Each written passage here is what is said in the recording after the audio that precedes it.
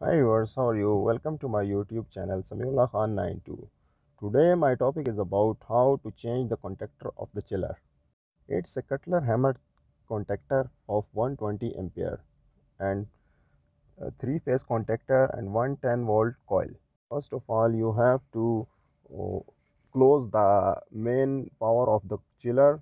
Uh, you must sure that your main power of chiller is uh, closed then you can remove the cable of contactor from uh, uh, cable connector of the contactor.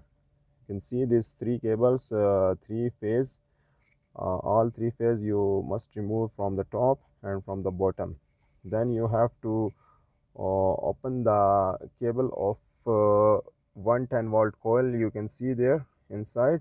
This is 110 volt coil contactor because control of the chiller is 110 volt then you can remove this uh, screw uh, bolt screw from the contactor to remove the old contactor. Then uh, when we can remove this uh, old contactor then uh, we have to fix the new one because this contactor is damaged. It's not a big deal to remove uh, just three screw bolts are fixed there. You can easily remove these three screw bolts and remove your contactor. It's uh, very easy to remove. You can see this uh, now our contactor is out. Uh, so we need a new one now to fix this. So we need a new one. Let's see. This is our new one. Cutler hammer 120 ampere contactor. You can see this is our new contactor. Uh, so we can fix this one now so we uh, starting to fix this so we can uh, put this on the same position. Where is the old one? And then we need to tightly screw the bolts uh, these three bolts again to fix uh, this on the position. You can see this is one uh, and two. This is another one. We have total uh, three bolts for this contactor. After fixing you can check this is uh, uh, okay. Uh, then after fixing the base of the contactor you have to fix the connector connector nuts. You can see this is first one. We can we are fixing these connectors so we must fix uh, these connectors uh, not came in the new one. We take from the old one and fix on this one so you have six uh, connectors uh, of the conductor. Uh, these connectors are used for the cables of the compressor and main power. So these six connectors first we can fix these all six connectors. So after fixing i'll show you how to use uh, how to fix the cables. After fixing this all we need to fix uh, the cables. Uh, so all uh, six connectors are almost uh, fixed now. You must uh, confirm that the strength of the bolt nut is uh, good. You can check all one by one all six connectors.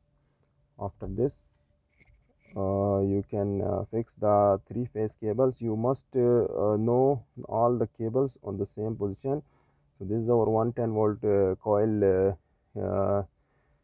so we can fix the coil came from these two cables came from the control of the chiller. This is 110 volt coil uh, because the chiller uh, chiller control is 110 volt so we fix this uh, 110 volt uh, line. Then we can fix the all uh, six cables of the three phase uh, uh, you need star allen key to tie this. Uh, must check all after fixing these three cables. This came from the supply. You can see this one 1b 2b 3b these three line cables. uh, you must uh, know the position of the cables uh, the same position. You have to fix the same position otherwise maybe you damage your compressor.